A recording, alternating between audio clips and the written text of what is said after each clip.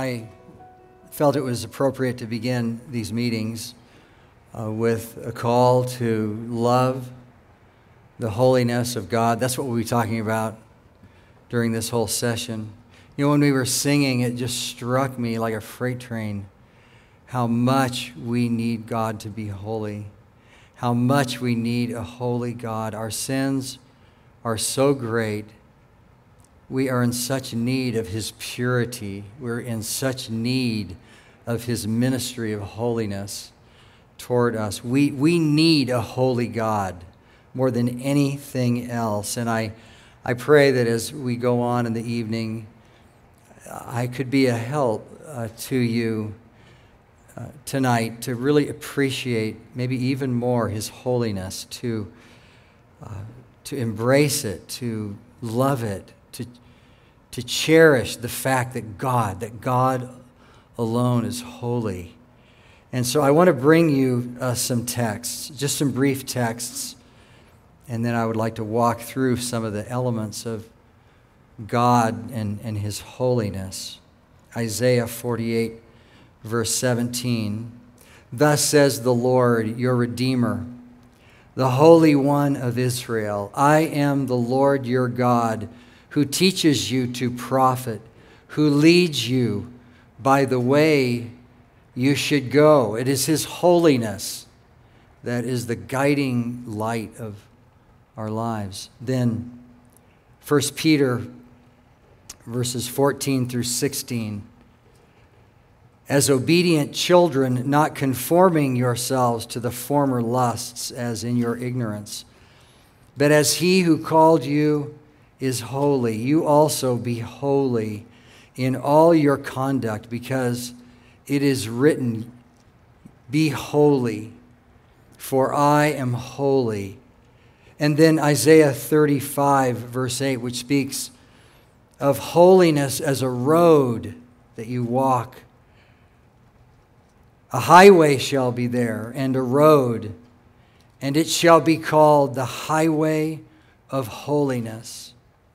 The unclean shall not pass over it, but it shall be for others. If you would like a 20 message exposition of that verse, we did a conference on that verse about eight years ago called The Highway of Holiness. And then finally, I want to read a, a verse that explains something that is really so wonderful to me. And it really comes out of the experience of the martyrs. They were, they were killed for the Word of God. You know, every time you preach the Word of God, you're really preparing people for persecution and for their death. And this is what we find in the martyrs. And in Revelation chapter 6, verses 9 and 10, there's this this remarkable scene of the martyrs who are under the altar of God. And what you find them saying is this How long, O Lord, holy and true? After all the suffering, after the pain of their death, and looking back at all the things that happened to them, as they were persecuted, what's the first thing that they think? Lord, holy, you are true. Lord, you're wonderful. Everything you did was right. Everything you told us was true. So, with those texts, I want to show you where I'm going, uh, just so you'll be able to track it uh, here on the screen.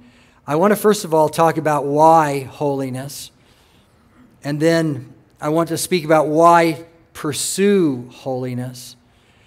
And then I want to say that the consequences are very profound for those who pursue holiness. Those who pursue holiness will see the Lord. And holiness is the essential purpose of God in salvation. And then that the entire objective of salvation is to undo holiness.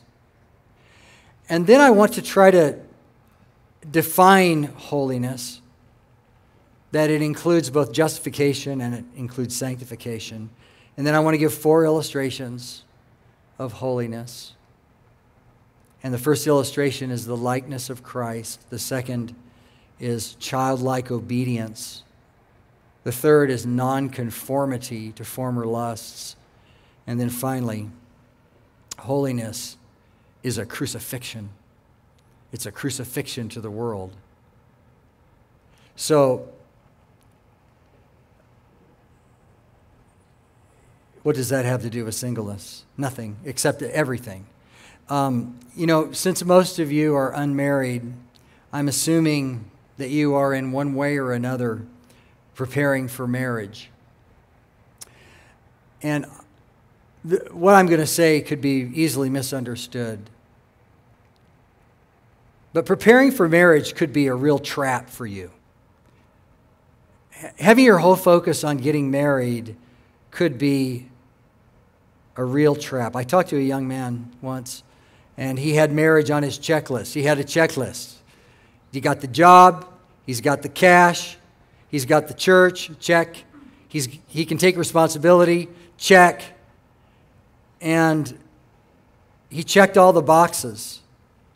He had all the credentials. You know, he had, it, he had everything on paper uh, ready for marriage. And then he, then he fell into a discouragement because he realized the Lord revealed to him he was preparing for the wrong thing. And he was doing all those things so that he could get married. And the way he tells it, he, he did all those things because he had made marriage an idol in his life. And it distracted him from the kind of life that God actually had designed for him. And he, he realized that he was preparing for the wrong thing. It's easy to fall into, you know, what should I do to prepare for marriage trap instead of how do I serve the King of Kings and Lord of Lords? How do I look at the face of Jesus Christ and be transformed into his image? So, if any of this gets close to you, stop preparing for marriage. Just stop it. And fix your eyes on Jesus Christ. Marriage will not fix you. I heard somebody say that uh, the single you will be the married you. So, if you're focusing on your wrong things, then you will be preparing for the wrong things. So, there's, there's nothing better in life than holiness, and it's the most beneficial thing. Holiness prepares you for absolutely everything. So, why holiness? Why holiness? Because God is holy. That's why. You shall be holy for I am holy. The creator of the universe, the designer of your body and your personality, he is holy. And holiness is the central quality of God. That understates it. But it's the quality and the attribute of God that sums up all the other attributes. Holiness is his defining characteristic. It is his beauty. Holiness is not some separate category of doctrine. You can't isolate this doctrine from all other doctrines. Like you can't isolate it from the, the perseverance of the saints or heaven or hell. Holiness is the irreducible principle from which everything proceeds. And holiness is embedded in every doctrine. Holiness is higher, it's deeper, it's wider than all the other doctrines, and it just swallows up all the other doctrines. Here's how Jonathan Edwards explained it Holiness is a most beautiful, lovely thing. Men are apt to drink in strange notions of holiness from their childhood, as if it were all a melancholy, morose, sour, and unpleasant thing. But there is nothing in it but what is sweet and ravishingly uh, lovely. Tis the highest beauty and amiableness, vastly above all other beauties. Tis a divine beauty. Why holiness? Because God is holy. God is love. He's the epicenter of all love. He's the headwaters of everything that's good. He's the fountain of all happiness. He's the beginning of all things. And this is the end for which God made the world, is to make sinners holy and to bring them into his holy mountain. And so holiness is such a beautiful thing. We need, we need a holy God. We need a God that is so different than we are, so that we could somehow acquire some of his beauty. So stop preparing for marriage if you are, and prepare for holiness in every way you possibly can. Why? Why should we pursue holiness? Well, there are many reasons. I'm just going to give you a small number of reasons why we should pursue holiness. And the, the consequences are so profound. And uh, the first consequence of pursuing holiness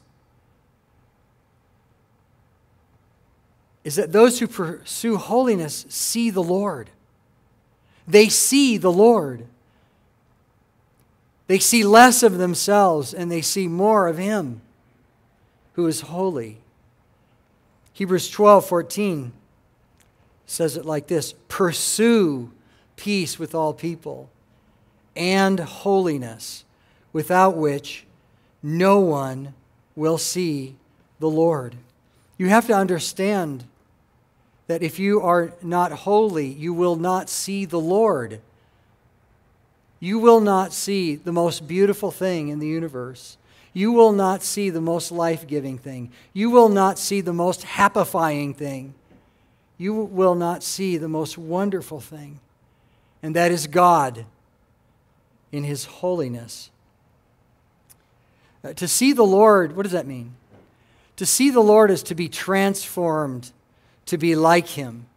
To see the Lord is to be beautified by Him. In 2 Corinthians chapter 3, verse 17, the apostle paul tells that church in corinth he says now the spirit of the, the spirit now the lord is the spirit and where the spirit of the lord is there's liberty but we all with unveiled face beholding as in a mirror the glory of the lord being transformed into the same image from glory to glory just as by the spirit of the lord you will see his face. You know, I've had such a delight over the last few months to preach through the book of Revelation. And there's a phrase in the book of Revelation that is so astounding to me. They shall see his face. They shall see his face. There's nothing more wonderful than that. And there are, there are, there are few messages more vital for the health of the church and the individual compared to this one. And something every person must understand if you are not holy, you will not see the Lord. You will not see his face. What a tragedy that would be.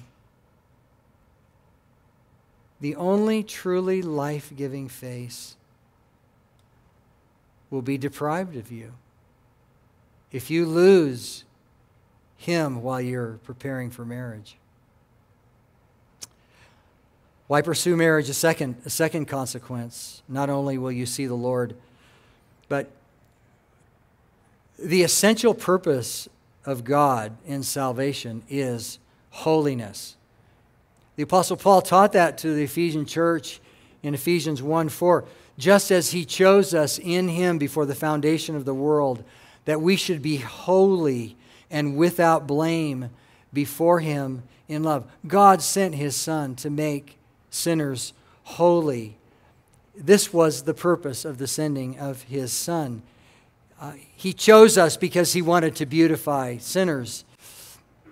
And everything he's doing in, in your life is for, for holiness. Every joy, every trial, everything that's come into your life has been designed by God to make you holy. Holiness is the purpose of Christ's sacrifice. That's why the apostle Paul said, "This is what this is the will of God, your sanctification." We are being made holy. And so holiness is God's motive for salvation.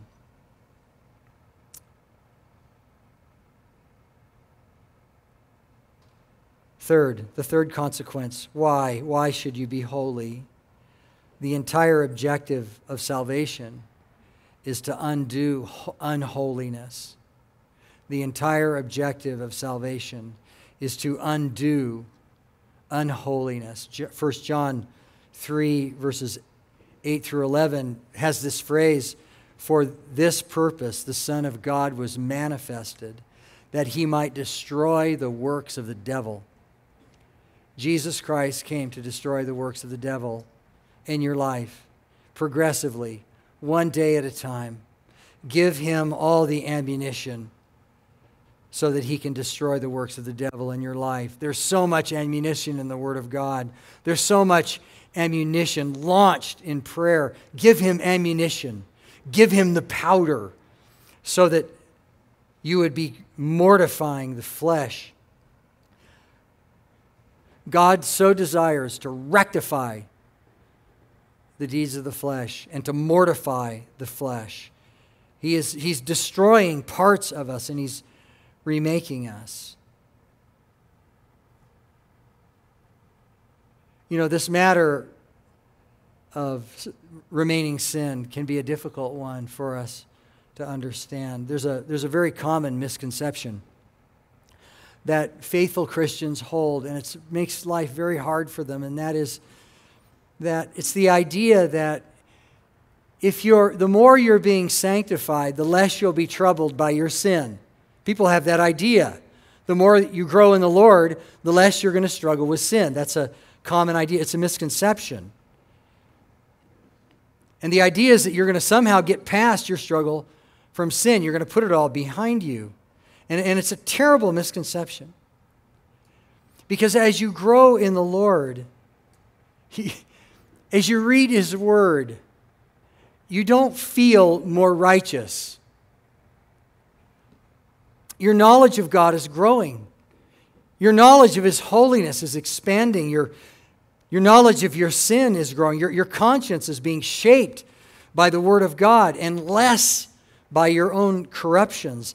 And the more, the more years you live, the more pride you see. And as you grow in grace, you see how much more you need to grow in grace. And so you might not feel better about yourself, but you will feel something else you will feel so delighted for what God has done for you. You will feel so delighted that He sacrificed His life for your sins. You'll feel so delighted that He put your sins as far as you, the east is from the west, that He threw them behind His back, that He stomped upon them, that He put them in the bottom of the ocean. You'll be so thankful what He has done. And as you're growing in grace, you'll always have to remember the massive implications of his sanctifying death on the cross. Holiness is the most important thing in the world. Edwards, again, in his book Religious Affections, said, He that sees the beauty of holiness sees the greatest and most important thing in the world. And I'll just say, all is lost without holiness. All justice is lost, all goodness is lost, all love is lost, all morality is lost, all peace is lost, all harmony is lost, all restoration is lost without holiness, but everything is gained by holiness and by beholding the face of a holy God and his holy Son, the Lord Jesus Christ. So that's why we should pursue holiness. Now, what is holiness? What is holiness? Well, there are many ways to speak of this, and I'll try to focus on the, the simplest way. Holiness is spoken of in the Word of God under two categories.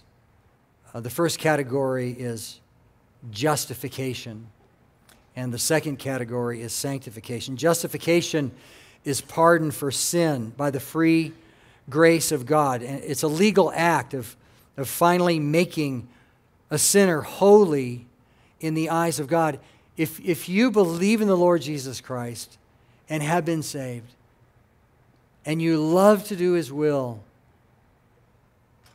you are holy in the eyes of God. He has made you holy, he has justified you by faith. And then there is sanctification. That's the effect of that pardon. When you're pardoned from sin, you're progressively rooting out sin. Justification is a one time event, sanctification is an ongoing process throughout the life of the believer. Justification refers to positional salvation, sanctification refers to progressive sanctification. Uh, and, and holiness is to be separated for God, it is to be separated from sin.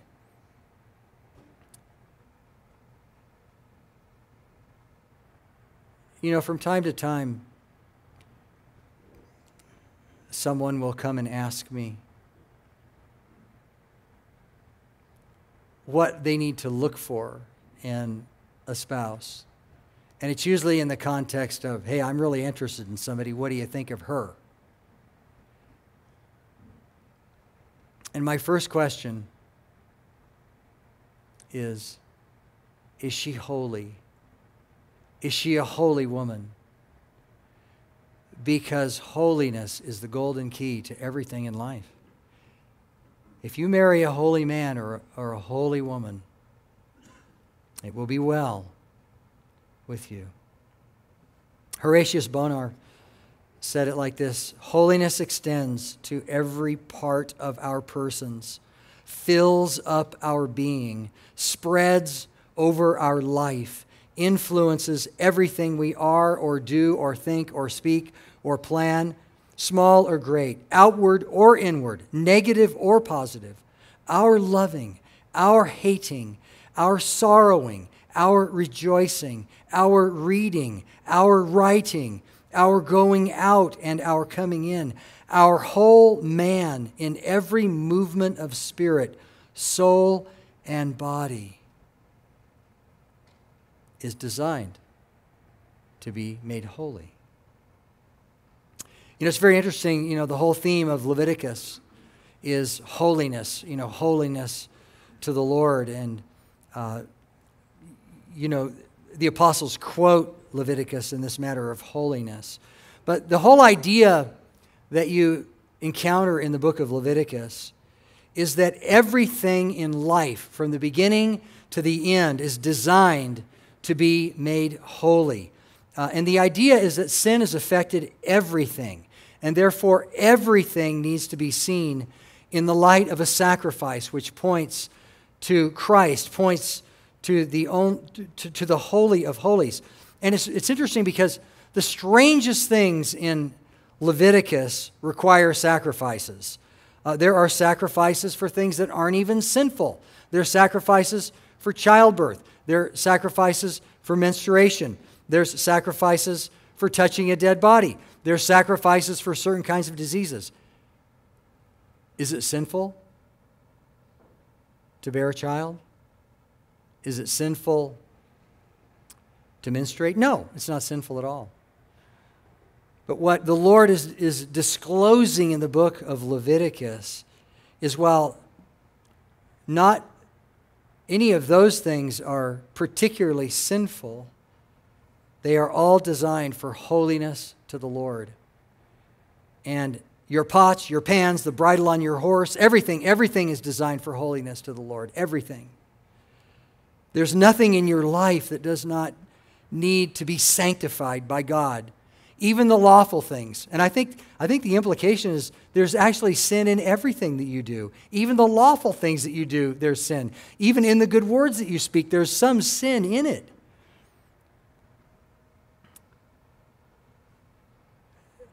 So, what, what is holiness? It is justification and it is sanctification. Now, I want to give you four illustrations for what this looks like. Four illustrations. And uh, the first is the likeness of Christ. The second is childlike obedience. And the third is nonconformity to former lusts. And the fourth is crucifixion to the world. So these are illustrations. So, what, what does it look like?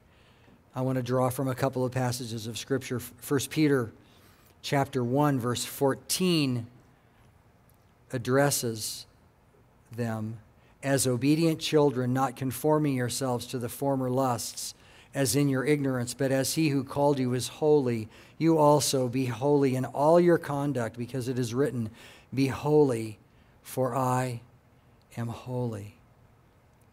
So, the first illustration of what holiness looks like, if you want to know, it looks like likeness of Christ. Be holy, for I am holy. Holiness looks like the life of Jesus Christ.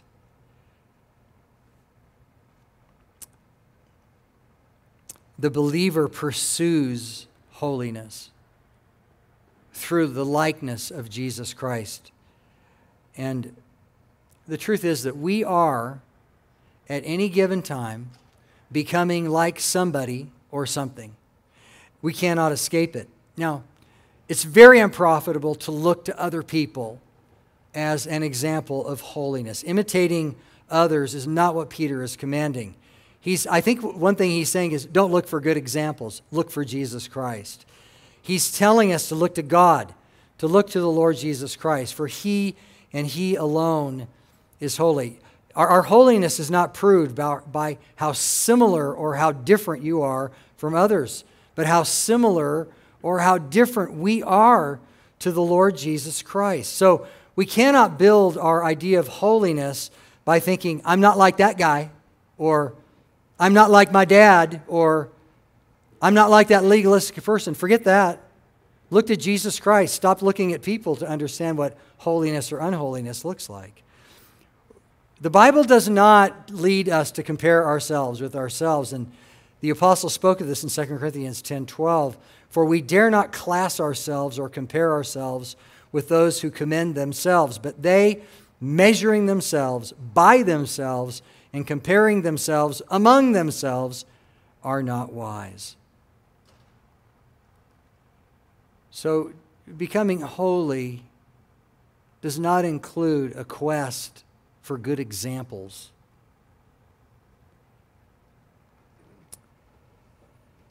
The Apostle John in 1 John 2 6 said that he who says that he abides in him ought also to walk just as he walked. You know, when we take the Lord's Supper on the Lord's Day, we're told to examine ourselves, not other people. We're not looking for good examples. We are imitating the only one who is holy. Somebody said the pursuit of holiness is the pursuit of Christ. Seeing God.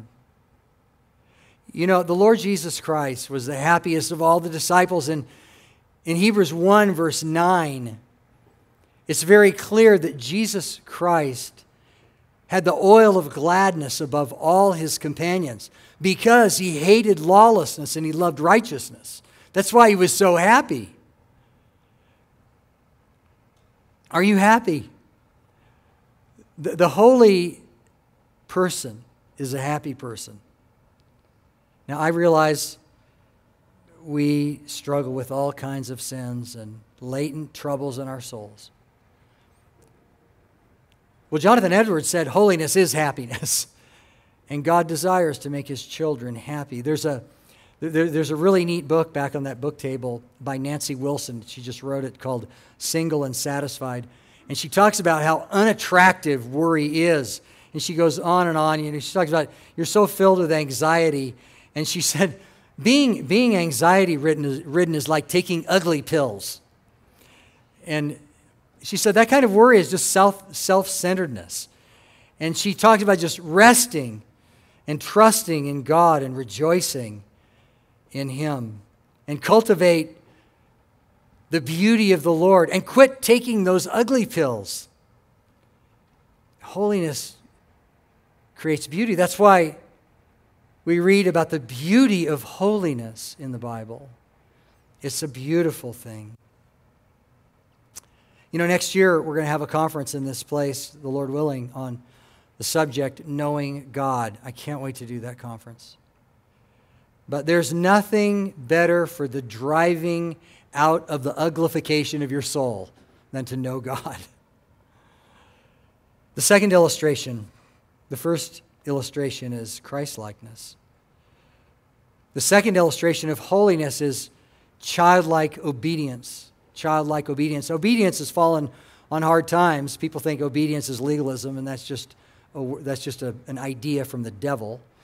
Um, but we are called in 1 Peter 1, verse 14, as obedient children. Uh, the believer pursues holiness through obedience. If you want to be holy, obey the Lord. That's the idea.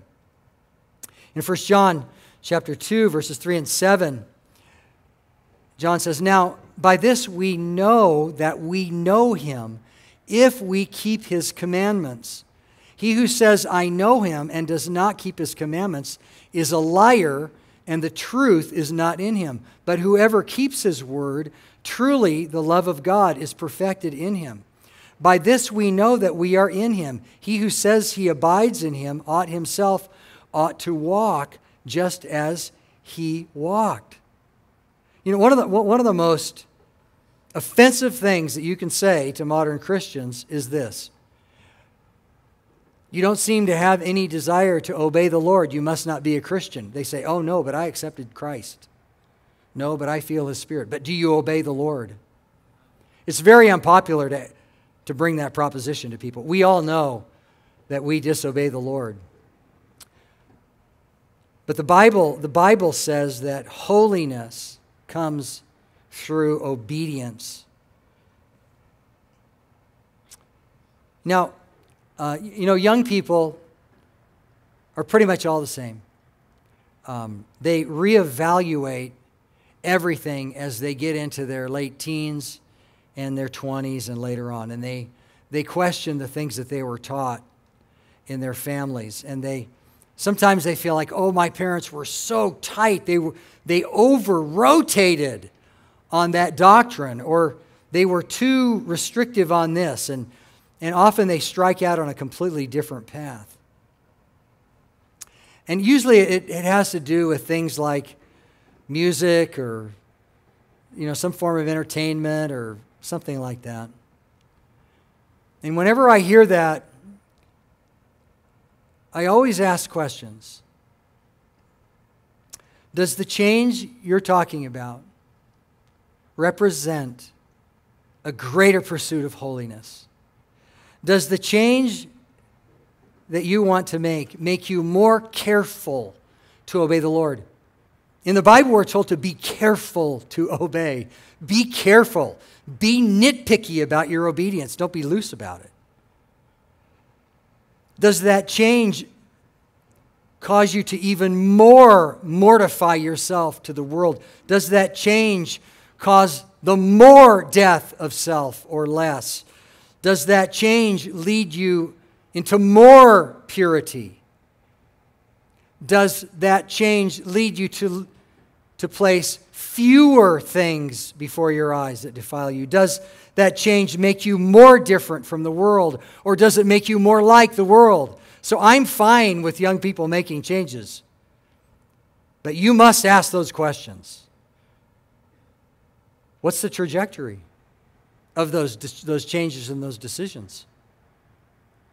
And don't use your parents as an example. Use the Lord Jesus Christ, use His Word as an example? Does it make you pursue more of holiness or less? And this really brings up the whole idea of Christian liberty. And uh, the kind of liberty that I'm, uh, have been referring to is not the kind of liberty that the Bible speaks about.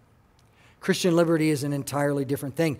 The great confessions of faith, the, the Westminster Confession, and the Baptist Confession of 1689 speak of what Christian liberty is.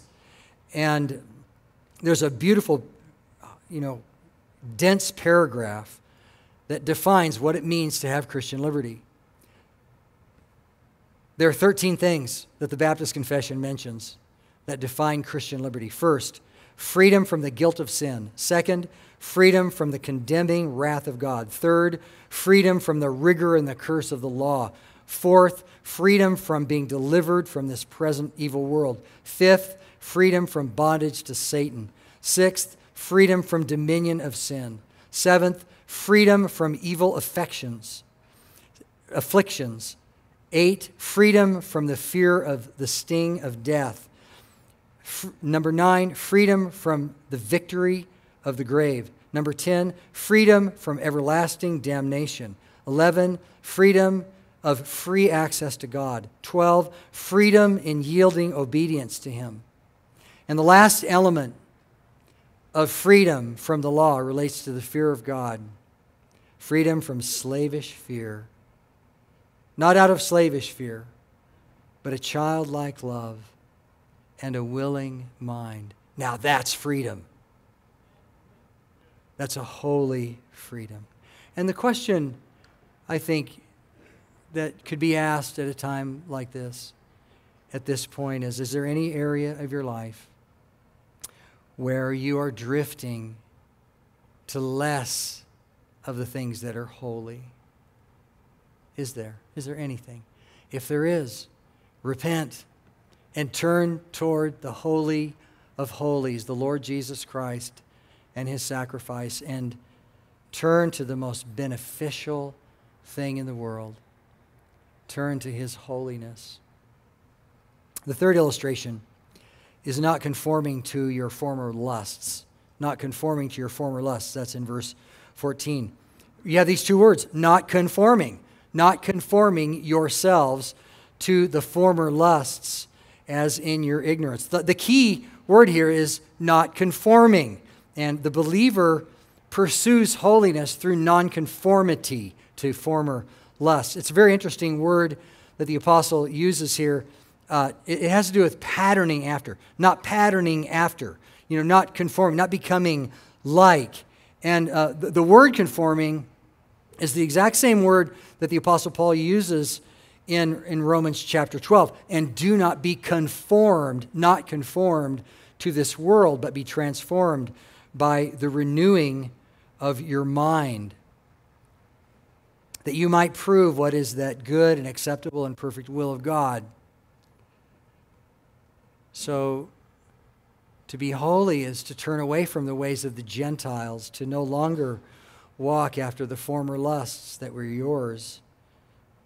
You know, in 2 Kings, the Lord corrects the people. He says, Do not walk in the statutes of the nations. The statutes of the nations, they're everywhere. Don't walk in those statutes. Jeremiah said, Do not learn the way of the Gentiles. Rather, be transformed by the renewing of your mind. Uh, he chose us in Him before the foundation of the world that we should be holy and without blame before Him in love. And the fourth illustration crucifixion.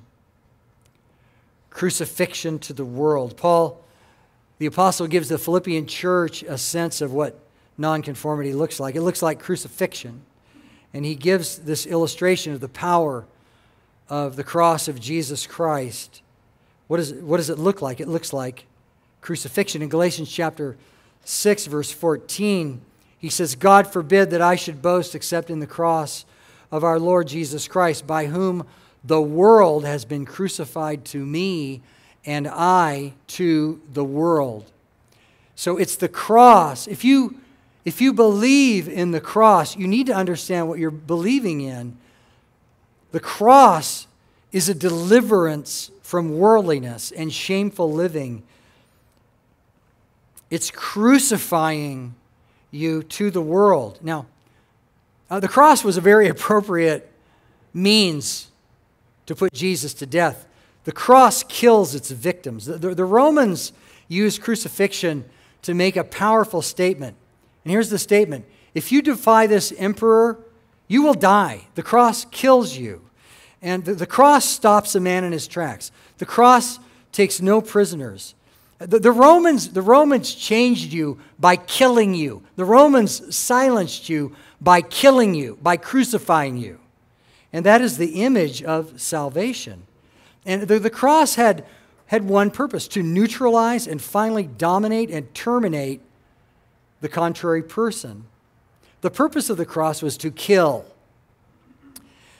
And the cross causes sinners to die to the world. The cross kills the old man. The cross ends one life and begins another. In 2 Corinthians 5:15, Paul told the Corinthian church that the cross separates man from his old life, and he who died for all that those who live should no longer live for themselves, but for him who died for them and rose again. Tozer said the cross separates a man from himself. He said the cross separates you from humanity. He said the cross separates you from culture. And I would just say the cross separates you from your friends, from your movies, from your rituals, from the things you watch. The cross separates you from everything ungodly. And that's why the apostle Paul said in Galatians 2:20, you all know this verse. He, called, he told the Galatian church that when you're crucified, you're not the one who lives anymore. I have been crucified with Christ. It is no longer I who live, but Christ lives in me. And the life which I now live in the flesh, I live by faith in the Son of God, who loved me and gave himself for me. If you come to the cross, you are coming to an amputation. And that's why I'm so concerned when somebody comes to me and say, says, Hey, I'm really interested in that girl. What do you think of her? The only thing I care about is, is she holy? Has she been crucified to the world? Has she been separated? Now, here is here's the truth about this. It's the worst part of you that dies. It's not the best part of you that dies. It must die. And it's the worst part of you that dies in this crucifixion. So, to be a Christian is to have your whole relationship with the world changed. And you think differently. The things that you used to boast about, they no longer matter. The attraction of the world no longer matters to you. Your whole worldview has changed. Ridderbos, the commentator, he says, The glory of the world is absolutely, radically objectionable. It is dead, obliterated. This is what it means to come to the cross of Jesus Christ. You die, the old man dies, and your whole guidance system in life is altered. That's why John Owen, in his famous book, Mortification of Sin, he said, Do you mortify? Do you make it your daily work? Be killing sin, or it will be killing you. But that's not all.